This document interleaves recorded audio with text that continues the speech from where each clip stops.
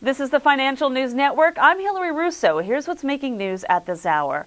Infosys Technologies reported a fourth quarter EPS of 70 cents, in line with the consensus estimate. Revenues for the quarter were up 23.6% year over year to $1.6 billion, below the consensus estimate of $1.63 billion.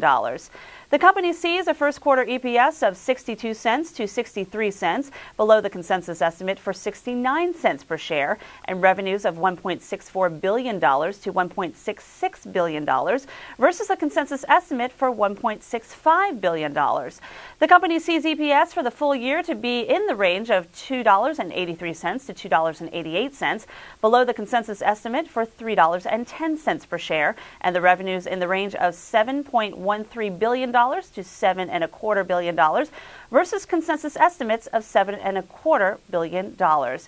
CEO and Managing Director S. Gopalakrishnan said, We expect the demand environment to be normal this year for the industry. We have created a structure with strong customer driven vertical focus and have enhanced our investments to take advantage of the opportunities we see in the market.